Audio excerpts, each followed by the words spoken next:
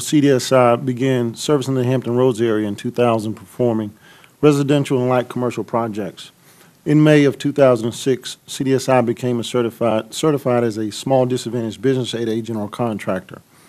This certification has allowed us to, to diversify and perform different types of construction projects such as residential, institutional, commercial, and infrastructure.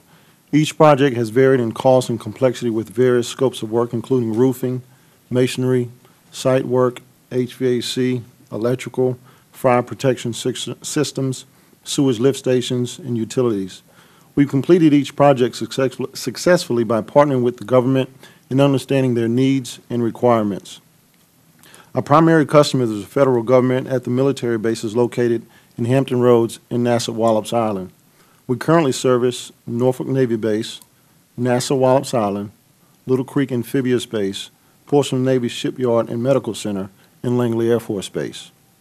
In the last three years, we've completed over 75 different projects ranging, ranging from $500 to $4.5 million. Consistent, we've also consistently employed 20 to 25 personnel and employed approximately 75 different small, service-disabled, veteran-owned businesses, women-owned businesses, and other subcontractors, vendors, and a multitude of tradespeople through this opportunity.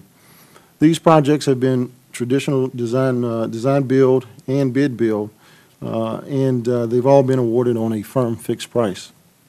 CDSI strives to know the government contract, and as a result, we're able to adapt and use our in-depth experience gained while working at other small businesses and my partner Joe's experience as a Civil Engineer Corps officer in the Navy Seabees.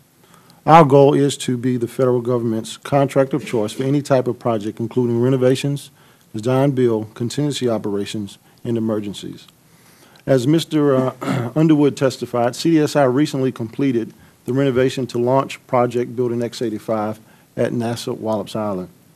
We demolished the existing facility down to its bare st- structural columns, concrete slab, and removed all exterior and interior walls and utility systems in total.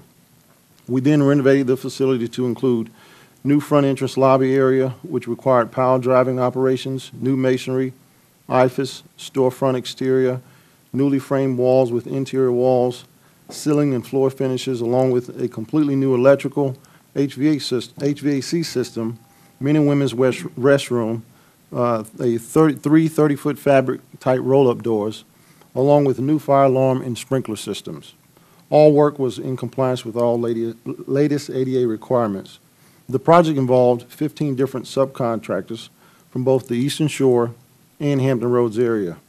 The project created a multitude of job opportunities both for CDSI and all of our vendors and subcontractors, of which 90% were small businesses themselves, and employing approximately 85 uh, different people during the various construction phases of the project.